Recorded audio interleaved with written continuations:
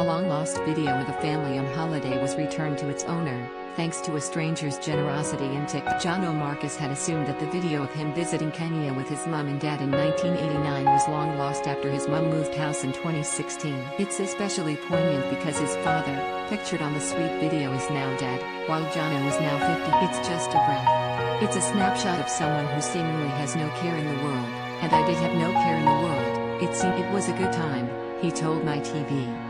David Gutenmacher, who runs the Museum of Lost Memories, spotted the video in a charity shop in New Jersey, US, and posted a video. I found this VHS of a family vacation while thrifting so I bought it, took it home and digitized it.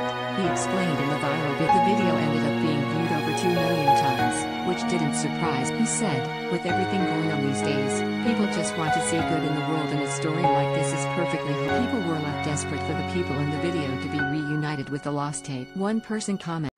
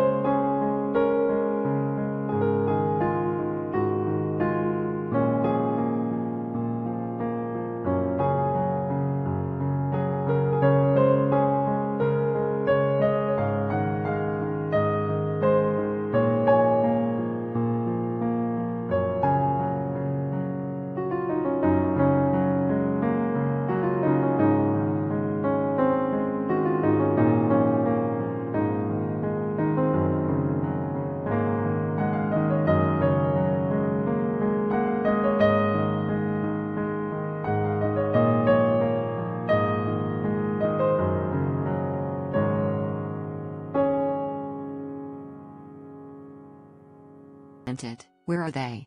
Who are they? How are they?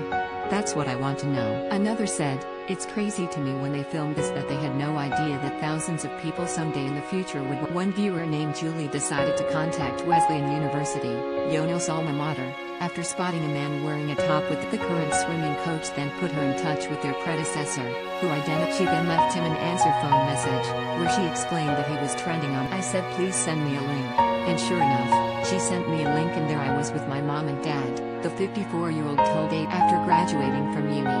Jono flew to Europe in 1989 before meeting his parents in Kenya, where they enjoyed a He shared a video on TikTok with photographs from that holiday and showing his reaction to the viral clip. He even dressed up in the dungarees he appeared to be wearing in the video, and jokingly recreated and he paid tribute to his father, who died in 2015. The now 54-year-old said he was overwhelmed by the especially after a tough 2020. He said, it more sparked a feeling of youthfulness and playfulness that I may have put on a shelf, I think in part due to the pandemic and a part due to just getting to the rut of working hard, keeping the kids safe and entertained, I guess, during the pandemic. People were left open-mouthed that he was reunited with the sweet video. One person wrote, another replied, when the internet is used for good it's the best thing. A third added, sometimes things like this remind me that the internet can be a